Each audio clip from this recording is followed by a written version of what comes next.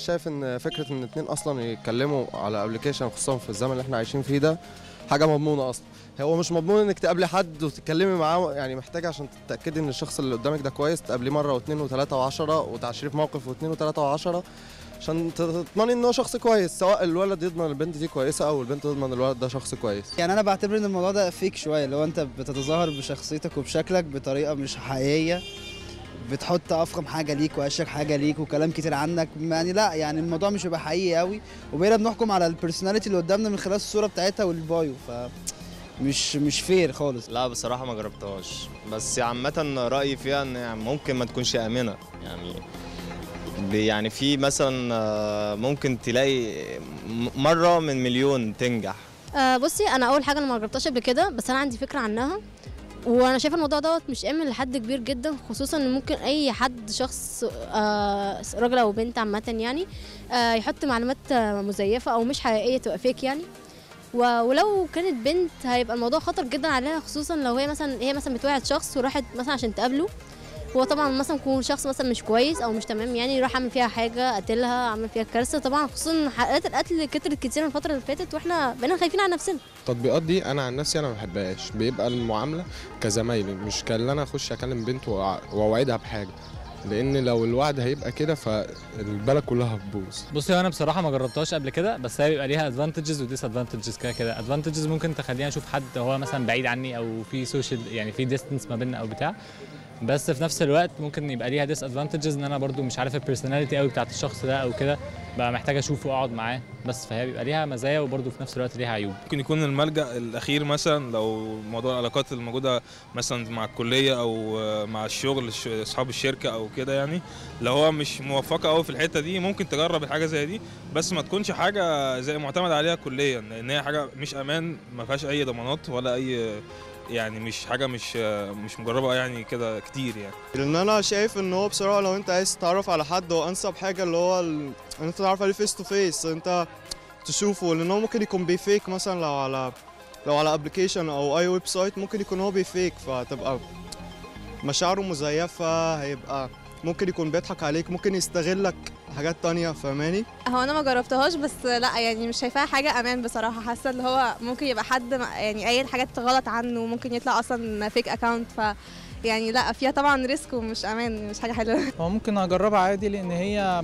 بتخليني ممكن أتعرف على ناس جديدة أو أعرف ناس جديدة آه، زي ما حد تاني ممكن يكون برضو بيدور على شخص تاني بمواصفات معينة فإن أنا ممكن أتعرف عليه وهو يتعرف عليا ونفهم بعض أكتر. يعني دي بتخلينا نقرب من بعض أكتر.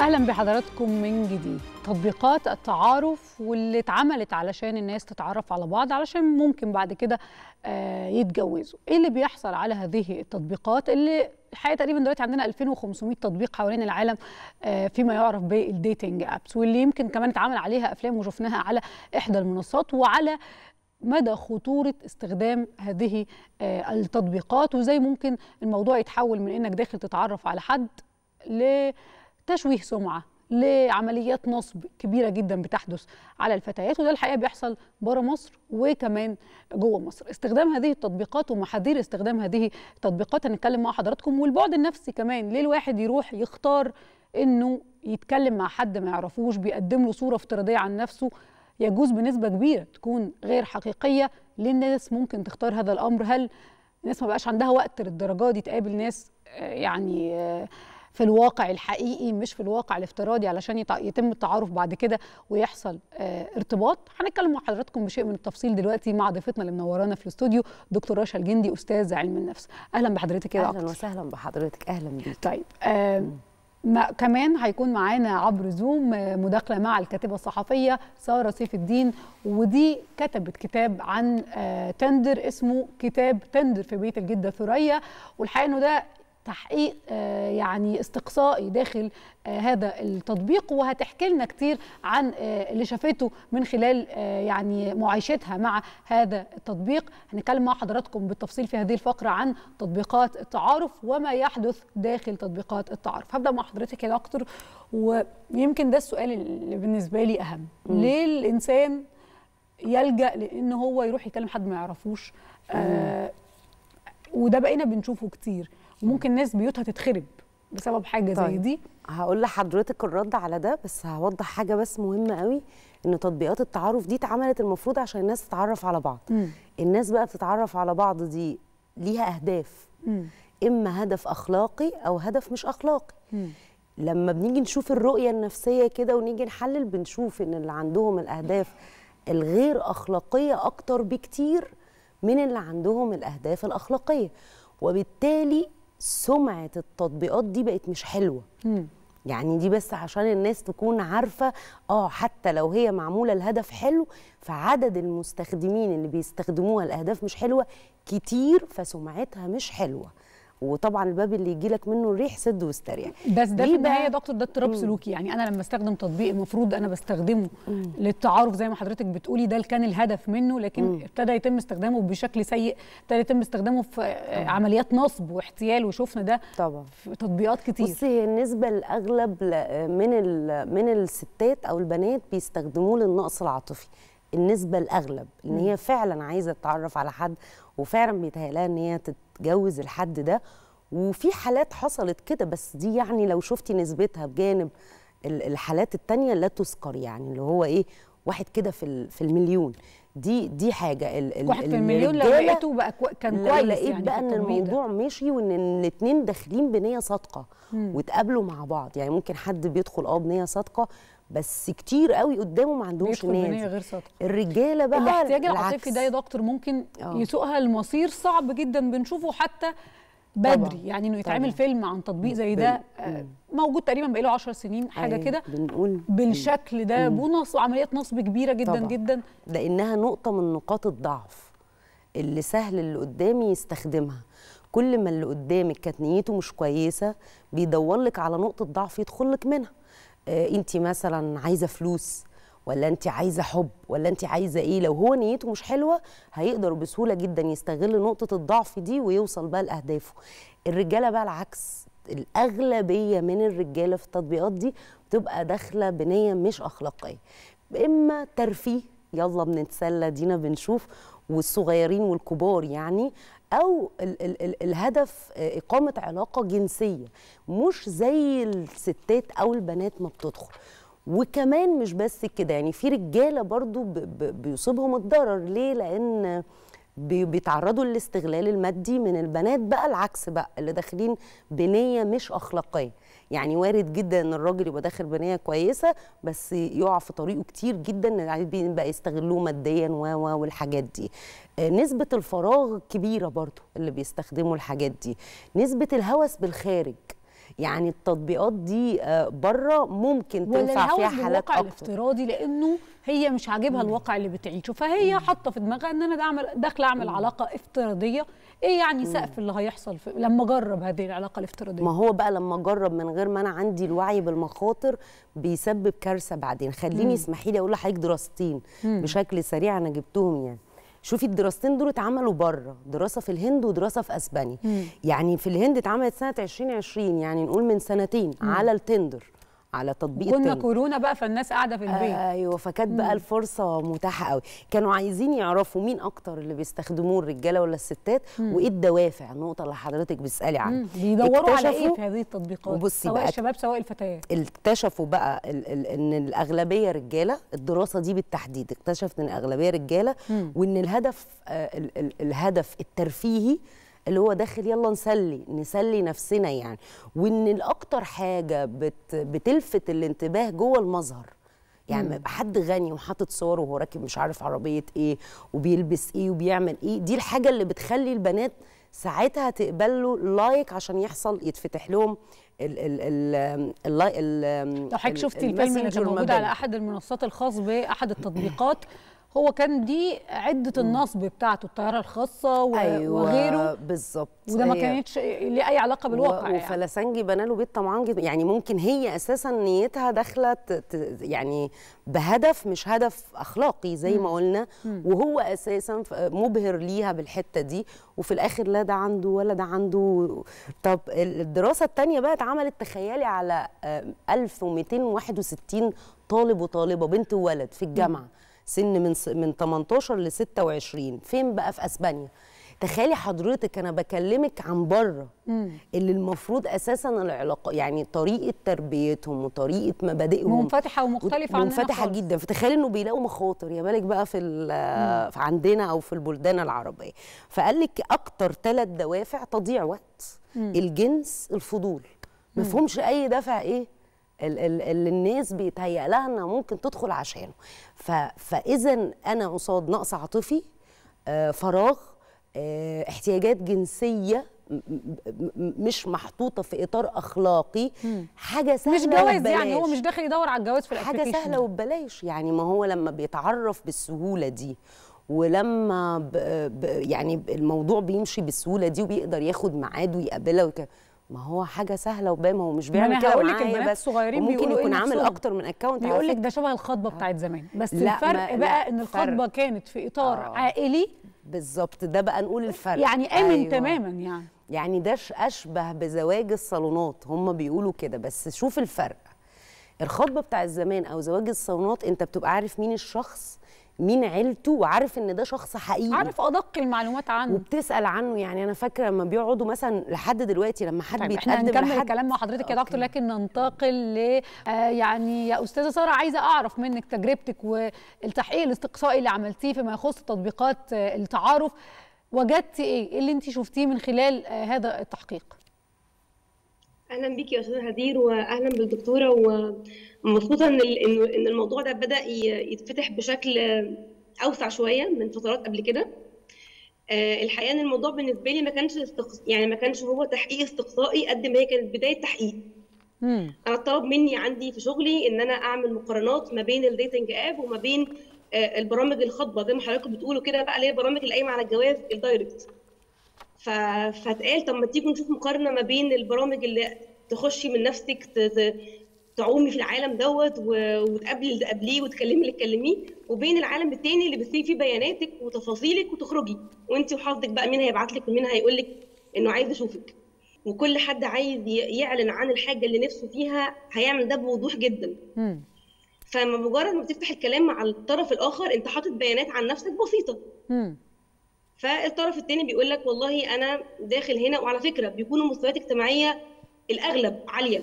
وده فعلا برضو جزء من الدكتورة كانت بتقوله في الأبحاث اللي اتعملت كده. آه، أو بيدعوا ده. فبيبقى الحكاية كلها إن أنا داخل عشان واحد اتنين تلاتة. إيه الأخبار؟ انت موافقة؟ كده. يعني لا هو لا هو تطبيق للتعارف الجاد ولا هو تطبيق يعني يمت لمسألة الزواج بصلة من خلال معايشتك. داخل هذا التطبيق. بالظبط وفي في بيتقال أنا متجوز وداخل اتسلى هو بيتقال كده فعلا. وفي وعمليات النصب كمان يا سارة يعني آه، كتير جدا من عمليات النصب تمت آه، سواء بالنسبة لرجال أو فتيات من خلال هذه التطبيقات. عمليات النصب هنا كانت بتحصل للأسف للأسف من ال... يعني البنت هي بتنصب على الولد آه. وعن طريق كروت الشحن بمنتهى الوضوح يعني مم. الراجل هنا ما عندوش مشكلة إن هو يتكلم ويهزر ويضحك بس للأسف في بنات تقول لك طب والله لو عايز تكلمني آه، بالطريقة دي طيب ابعت لي كارت شحن ب 100 مم. ابعت لي كارت شحن. بأي رقم هي عايزاه.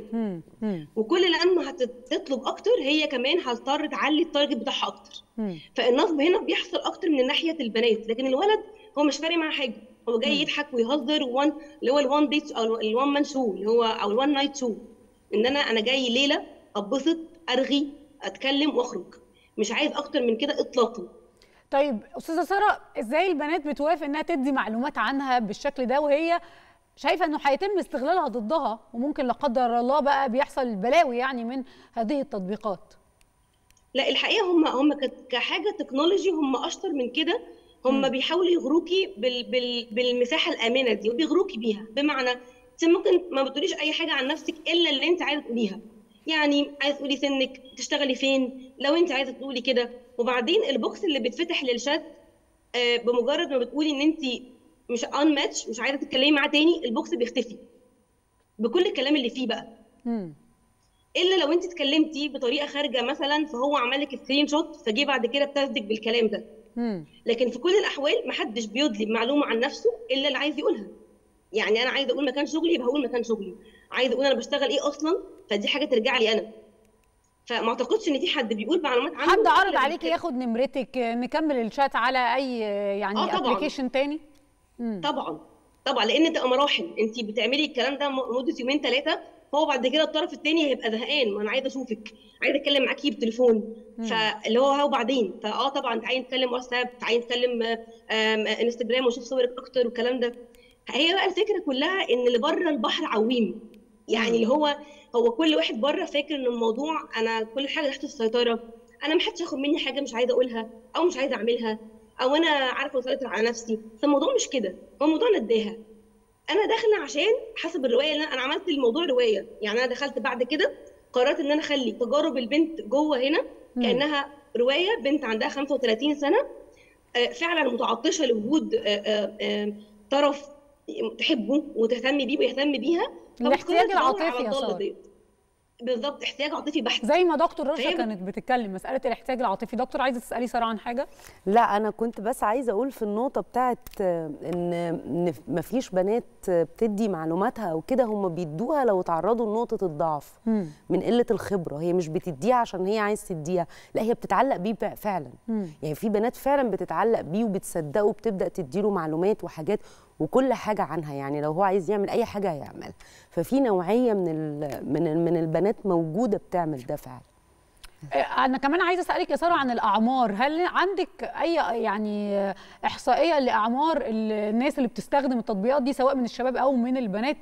لأنه الحقيقة آه، ان الواحد الحقيقة كمان؟ يخاف عن على المراهقين والمراهقات والمراهقات إنهم يدخلوا في هذه التطبيقات. لا هو اللي كان ملاحظ أنا جربت ال application ده وكان Tinder فعلا كان نف- كان نفس ال application الدكتورة بتتكلم عنه. أنا جربته حوالي آه، شهرين. آه، أغلب الأعمار كانت فوق ال 30 بالعكس ما كانش أقل من كده. يعني حتى الرجالة الرجالة بقى كمان 36 38 آه، وأغلبهم زي ما قلت كده بيكونوا متجوزين أصلا. والبنات اللي أنا لما كنت بسأل بقى الرجالة ان أنا في أوقات كنت بضطر أقول للراجل اللي بكلمه إن أنا بعمل استطلاع رأي إن أنا بتكلم عايزة أعرف معلومات أكتر. كان في ناس بيتجاوبوا بيحكوا لي حاجات. فأغلب البنات برضو بعد سن ال 35 اللي هي بدأت دايرتها تقل من من التواصل الطبيعي في الحياة سواء شغل مش بيتيح ليها ده سواء دايرة عمالة اجتماعيا بتقل حواليها فمضطرة بقى إنها تدور في عوالم تانية. دي نقطة مهمة جدا يا سارة. تقريبا. دي نقطة مهمة عايزة أروح بيها للدكتور، بصي يا. دكتور مسألة إنه ده بيحصل، ده بيحصل في الغرب. وده كان أعتقد أصل فكرة الديتنج أبس، إنه الناس ما عندهاش وقت من كتر ما هي بتشتغل، ما عندهاش وقت تقابل آه، الحب، ما عندهاش وقت آه، آه، يعني تاخد احتياجها العاطفي ده، فبيدوروا عليه في ال applications دي. النهارده وإحنا بنتكلم في مجتمعنا العربي اللي بالتأكيد المهزلة اللي بتحصل في ال dating apps دي ما تناسبناش. طيب اللي بتدخل على هذه التطبيقات وأنا يمكن قعدت كده أمر في جروبات الستات وأسألهم على موضوع ال dating apps طبعا ما بين حالات كتير جدا شفت حالة زواج واحدة وليها علاقة ب applications مسلمة أصلا ليها علاقة بالزواج الإسلامي ومثل هكذا يعني تطبيقات من تطبيقات التعارف. اللي داخلة وعارفة إن الموضوع جوه مهزلة. إزاي تتعلق بحد جوه؟ إزاي تصدق؟ ده مهما كان في احتياج عاطفي. لا الاحتياج العاطفي بيوصل لكده لو البني آدم ما عندوش وعي ولو ما خدش قرار إن هو مش هيأذي نفسه مم. يعني في ناس كتيرة لما بيكون عندك نقطة ضعف بتكون دي الطريقة اللي انت بتأذي بيها نفسك وانت مش عارفة على فكرة حضرتك كنت بتسألي عن نوعية الناس أغلب الستات اللي موجودة في نسبة كبيرة منهم مطلقات مم. على ال Tinder بالتحديد حتى ال- حتى الأستاذة سارة قالت لك إن قالت لحضرتك إن في إن هو 30 فيما فوق. مم. و- و- والسن الرجالة برضو آه، كبير ومتجوزين. يعني الراجل متجوز و- وداخل يعمل dating وتعارف وكده. ف- فلا الاحتياج العاطفي والفراغ والمسؤولية الزيادة اللي بتتحملها المرأة ومش عارفة الطرق الصحية اللي هي تروح تفك عن نفسها أو كده فبتضطر تروح للمتاح لأن ده سهل.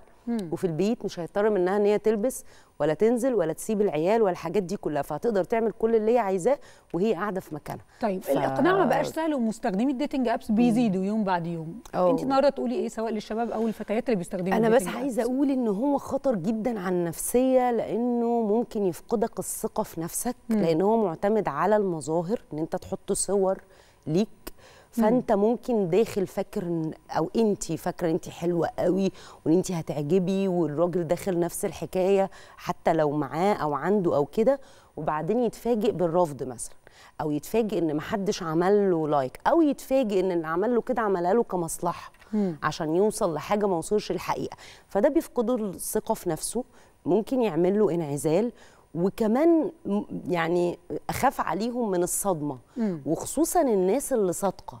يعني أنت لو داخل بنية زي ما قلنا كده إن الواحد داخل بنية أنا مش مش داخل أستغل حد ومش داخل أعمل حاجة وحشة أنا داخل أتجوز. مم. ما هو مش ده المكان المناسب لده. فأنت لو ما لقيتش بقى الحقيقة دي أو اتعرفت على حد وعجبك واتعلقت بيه وبتاع وبعدين جيت شفته على الحقيقة أو اتعاملت معاه لقيت شخصيته غير الواقع فأنت ضيعت وقت كتير جدا قبلها. شخص أو حد تاني خالص. فأنت ضيعت وقت كتير قبلها كان ممكن في الحياة الواقعية. لأن إحنا دايما نقول يا جماعة الجواز رزق.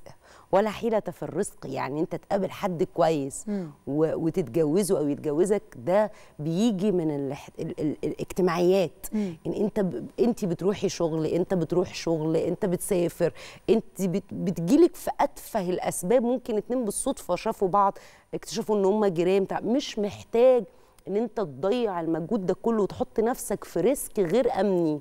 يعني أنا بخاف دايما أقول إيه يا جماعة عواقبه آه، النفسية بالظبط. والاجتماعية ال- الأمن مؤذية. جدا جدا جدا البني. آدم صحيح. لازم يبقى عنده حس أمني على نفسه انت تضمني منين إن ده ما يطلع إنه يطلع شخص مش سوي عنده عقدة من الستات وفي. تحذيرات عالمية فاللي هو آه هيعمل صحيح مثلا طب انت هتعرفي منين ده ده هتعرفيه لو إن شخص بتشوفيه وأجمل حاجة في الدنيا في علم النفس دايما نقول أحلى حاجة لما بتحصل تكة الإعجاب ده طبعا مش بنتكلم عن الحب حتة الإعجاب أو القبول أو التعارف إنه يحصل بالصدفة. مم. مش كل واحد فيهم قاعد مستعد إنه داخل التطبيق ده فراسم صورة مثالية في كل الجوانب قدام اللي هيشوف صوره أو هيشوف حياة. لا أنت لما بتعرفه على طبيعته الأول من غير ما هو ياخد باله بيبقى أفضل بكتير جدا بعد كده إن هو يكمل معاك يعني.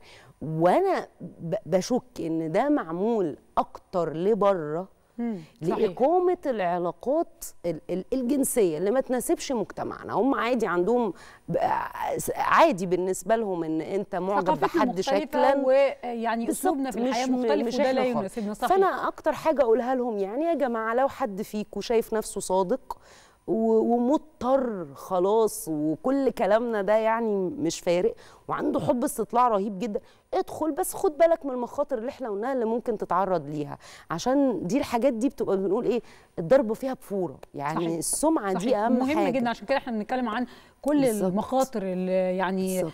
مليانة داخل تطبيقات تعارف. إحنا بنشكرك شكرا جزيلا دكتور رشا شكراً الجندي لحضرتك. أستاذ علم النفس وكمان بشكر الكاتبة الصحفية سارة سيف الدين صاحبة كتاب تندر في بيت الحاجة ثريا شكرا جزيلا على وجودكم معانا وإن شاء الله يعني ليلة عيد الميلاد المجيد ليلة كلها حب وسلام ومحبة كل سنة وكل مصر فرحانة وبخير. وأشوفكم دايما على ألف خير.